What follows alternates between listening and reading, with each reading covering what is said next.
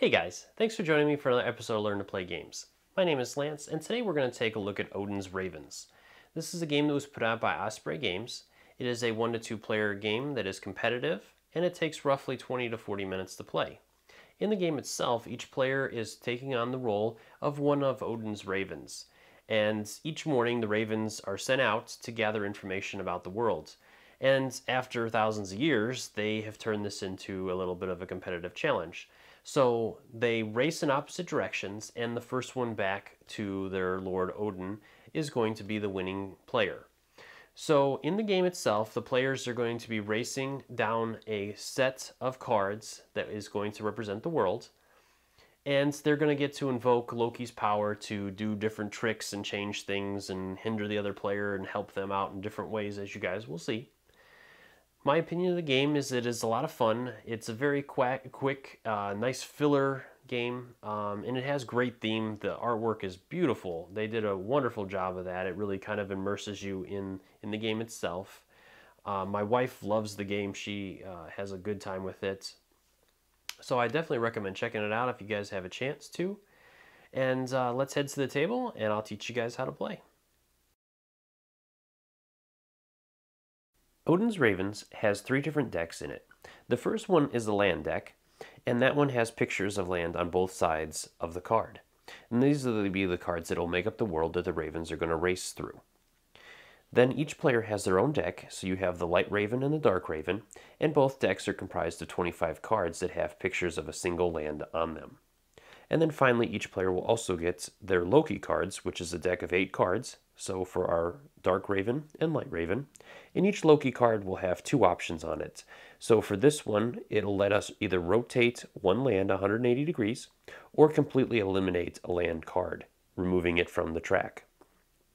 Over here on this one, we, we can switch two lands cards out without rotating them, or we can slide one land down, decreasing one side of the world and increasing the other side, which we'll cover more during the game. For board setup, the first thing you're going to do is grab the land deck and go ahead and give it a shuffle. From there, then you're going to go ahead and make a line of lands that is 16 tiles long. Now with this game, this example game, I'm just going to do 10 just so you guys can see.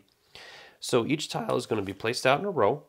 And if a tile has the same picture of the same land on it, the first thing you're going to do is rotate that land. And if it still matches, so if I rotate this, we still have two mountains, then you're going to discard it to the bottom of the land deck and draw a new card.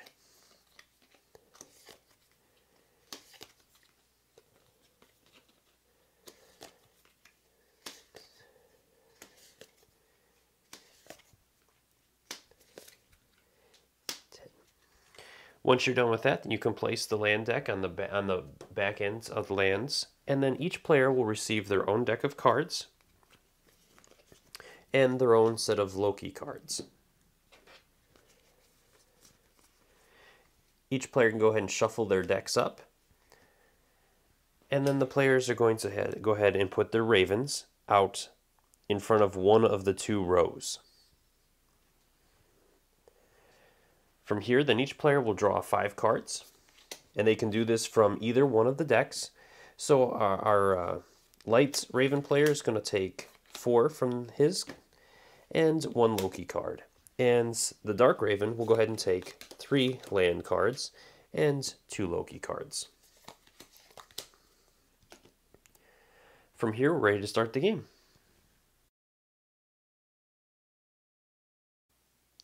So the first thing we need to do is decide which player is going to go first, either the Light Raven or Dark Raven. And so we're going to go ahead and let the Light Raven go first. From here, the players are going to race down their end of the world and come back on their opponent's side, and the first Raven to reach their opponent's end will be the winning Raven. So they're going to be able to do this in two different ways by playing different types of cards. We have the Loki cards, which will allow the players to manipulate the world in different ways or make it harder for their opponents. And then we have the land cards that will you have to play one land card that matches the land in front of you.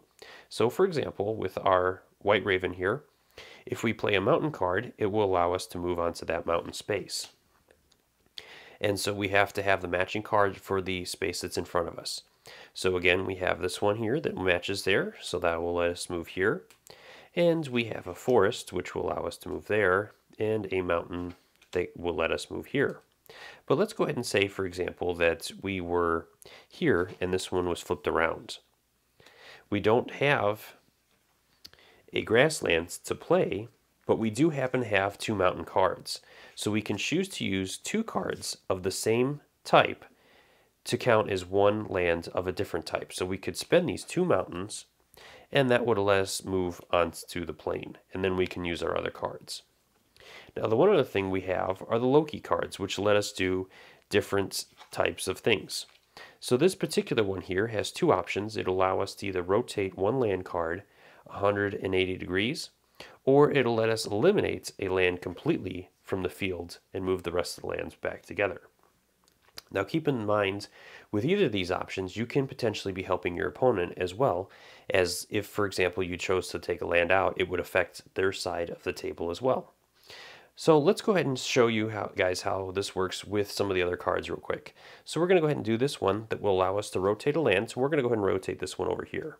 That way our player has three mountains in a row. And why that is beneficial is let's go ahead and say that we did our player's move. So we're going to spend the one mountain to move here the that one to move here and the woods to move here.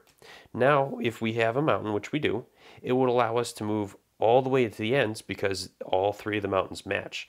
So when you play a card that matches, you can move your raven along those spaces until you reach the last one. Now that we've completed all the actions that our, our light raven can do, we can go ahead and end our turn by drawing up to three cards from either of the decks in any combination we choose. So our light raven's going to go ahead and take three cards from the lands deck. Now, a player can have up to seven cards in their hand at any time, and if you draw more than seven cards, then at the end of your turn, you must uh, discard down to seven cards. So we're going to go ahead and take a look at the Dark Raven's turn now. So we're going to go ahead and flip over his cards here. And so he's got a couple of woods and a plain. So he'll go ahead and spend the plain to move on to there, and one of the woods to move here. Now, at this point, he doesn't have a Dark Land card to play, so he can choose to play one of his Loki cards or both of them if he wants to, which he's not going to right now, as you only have eight cards throughout the game, so he's going to save these to be able to mess with the other player later on. Now, the one other thing to keep in mind with these cards is that if you choose to use a card that manipulates a land in some way, you cannot choose a, land that another player's Raven is on. So, for example, with our Loki card here that lets us rotate a land or eliminate a land, we cannot choose to use it on this card as there is a Raven player on that card. And so at the end of our turn, we're going to go ahead and draw back three cards. And so he's going to go ahead and take some land cards, which will, will keep him under his seven cards, as he's got six right now. From this point, we're going to come back to our player over here. And so he's got those. So he's going to go ahead and just stop right there because he sees that there's a woods coming up, so he doesn't want to spend both woods to get past that other land as he's going to need more there. So he's going to go ahead and draw two more from here and one from the Loki deck. We'll move back over to our Dark Raven player. So he's going to go ahead and play this card here to move here.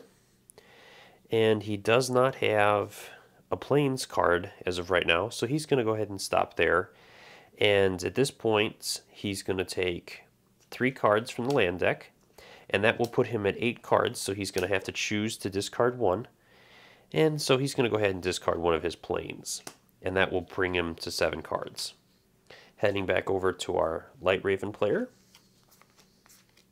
He's got a bunch of forests, and again, no plains. So he's going to go ahead and play two forests this time to move here and then he'll play another forest to move on to there. And then he's got another Loki card that lets him trade places with two tiles or move a tile away. So he's going to go ahead and do that, and he'll do it here to shift this tile out. And then again, he will discard that Loki card. And then he's going to go ahead and play this card to move all the way over here. And that'll end his turn as he doesn't have any mountains. So he'll go ahead and draw three more lands in hopes that he'll pull one of the mountains. And then we'll go back over to our Dark Raven player. So he's going to go ahead and play his two mountain cards to move here. And then he'll play this card here to move here. And the woods.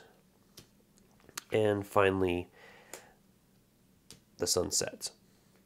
At this point, he is going to go ahead and play one of his Loki cards. He's going to go ahead and play this one here to eliminate a space.